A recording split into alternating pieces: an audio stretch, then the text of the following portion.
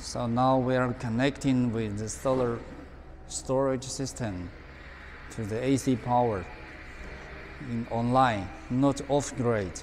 Our engineers are just um, setting the circuit. And this port, this port we can easily to see, and the SOC from the LED light, and also the CAN bus communications RS232 and RS485, and everything are just in parallel to each other. So this is our entire system and it can maximum with 16 modules to be in parallel for the system. So up till now we developed with a system about 120 kilowatt hour.